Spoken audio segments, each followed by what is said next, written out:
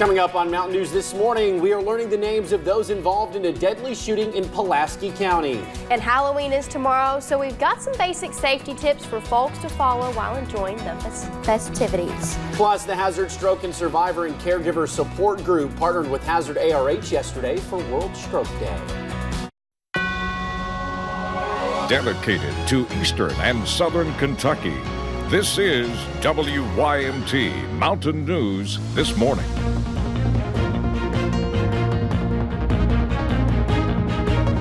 Good morning. It is 4:59. I'm Will Puckett. And I'm Madison Pergram. Well, thank you for tuning into Mountain News this morning. Madison, you're fighting a little bit of a cold, and a lot of people can expect that this time of year. Yeah, because the changing of the weather mm -hmm. and yeah, but we'll yeah. get through it. Yes, she will get through it. She's been a trooper all week. Let's bring in Brandon Robinson, who's healthy as a horse. But Brandon, that might change for a lot of us after today. Yeah, yeah, it's going to be an interesting forecast in the next 48 hours. And I was talking to you all a little bit uh, off camera about it. But uh, yeah, it's going to be uh, interesting to say the least. Let's take a look and see what's going on right now across the region. Cloud cover and a little bit of moisture starting to stream in down to parts of southern Kentucky now. And that's going to be the case throughout the day. Visibility not as bad as it was yesterday, but still some spots with some dense fog, so be aware of that. Temperatures in the low to mid to upper 50s across the region. 53 Harlan, the cool spot. 57 Logan, Pikeville, and in Wise. Some of the warmer spots, London too. Out the door forecast this morning starting at 7. Again, right there in the mid 50s for the most part. We'll get to about 67 or 68 later today, and those rain chances really ramp up as we head into the afternoon hours. We'll talk more about all of that and track the crazy forecast here in just a little bit. Will? Alrighty, Brandon, thank you. Well, new this morning, 12 people were shot at a home in Long Beach, California Tuesday night. Three are dead and nine others taken to hospitals. Local police say two hooded suspects opened fire at a home near the intersection of 7th Street and Ohio Avenue. Initial reports from the scene said a Halloween party might have been taking place at the home. This is, of course, a developing story, and we will update you as we learn more on air and, of course, on our website at WYMT.com. And we are learning the names of those involved in the deadly shooting in Pulaski County on Sunday. Police say 30-year-old Donna L. Eldridge died as a result of the shooting at a home in Eubank. The other shooting victim is Bobby Edgar Eldridge. Bobby remains at UK Hospital. We do not know his condition at this time. Right now, police are not saying who shot whom or what led up to the shooting. Well, a woman in Knox County is behind bars after police say she was driving under the influence at an elementary school. This is 27-year-old Lena Faye Hodge of Flat Lick. A school resource officer says he saw Hodge pull into Flat Lick Elementary and get out of the car with two children. The officer says he determined Hodge was under the influence. She was charged with DUI and four counts of second degree wanton endangerment after the officer found two more smaller kids in the car. And more than 18,000 people have signed a petition on change.org to close McCamey Manor in Tennessee. The manor is advertised as an extreme haunted attraction, but many describe it as a torture house. The owner, Russ McCamey, says he finds the change.org petition humorous and that he is not doing anything illegal. He adds that there are more than 27,000 people on a waiting list to take the challenge for the $20,000 prize, and nobody has completed it so far. McCamey screams each participant personally, and if accepted, there is a long list of rules which include watching a two-hour long video, signing a 40-page waiver, and passing a physical.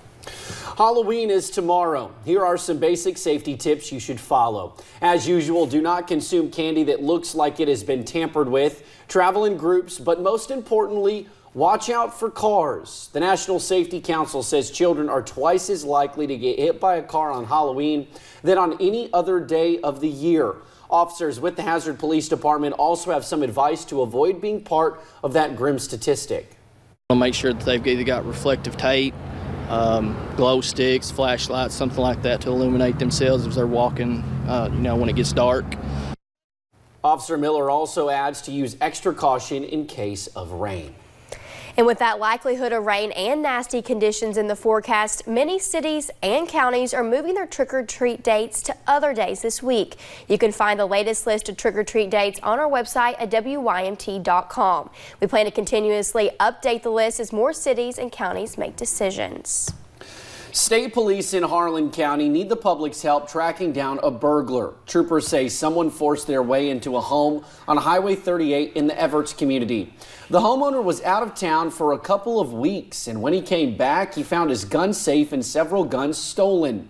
Police believe the burglar broke in through the garage sometime in the early part of this month. If you have any information, contact Kentucky State Police Post 10 at 606 573 3131. Well, from blacksmithing to making guitars, Cultural Recovery in Hindman is helping those who are facing or have faced drug addiction. The program is part of the Hindman Artisan Center, and two days a week, people struggling with addiction come out to work on hands-on projects. They say it helps them stay busy and involved in the community keeps you occupied and keeps your keeps your mind something healthy to do. And um, I've kind of always been a tomboy and um, work on things, so um, I thought I would like this program. The program pairs with Hickory Hill Recovery Center and Knott County's Drug Court program. They meet every Tuesday and Wednesday.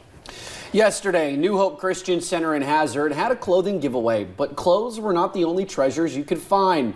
Shoes, blankets, and toys were all up for grabs. Rayanne Barnett says this is a blessing to be able to do this for the community thanks to their partners in missions group of missionaries that came down last year to Twin Rocks Bible Camp and they fell in love with the area and they have since been um, collecting things and sending us stuff. People can come and get a bag as long as it can tie. They'll be able to get three bags plus a blanket as long as it lasts. Barnett says they hope to do this again before the Christmas season. And yesterday, the Hazard Stroke and Survivor and Care Caregiver Support Group partnered with Hazard ARH for World Stroke Day, reminding the community that anyone can have a stroke. They provided stroke screenings and information about how to catch these symptoms. Not knowing what to do after can cause more problems in the future, but having someone there that has been through it helps. It's important for the stroke survivors, not only them, but for the caregivers to see and be around other people who are going through the exact same thing they are because those of us who have not had a stroke don't understand what they're going through. Everybody's in the same same boat. And if you've accomplished something, if you've done better, if they've done better, it gives you a chance to discuss that. The support group is for anyone in surrounding counties. They meet the fourth Wednesday of every month in Hazard. Well, thank you for getting your day started with us right here on Mountain News this morning. More news is on the way. In the spirit of Halloween, folks in one Kentucky city got to take part in a positively adorable costume contest. We have a lot to talk about when it comes to the forecast to wrap up October. I'll get you caught up on the roller coaster ride in about three minutes.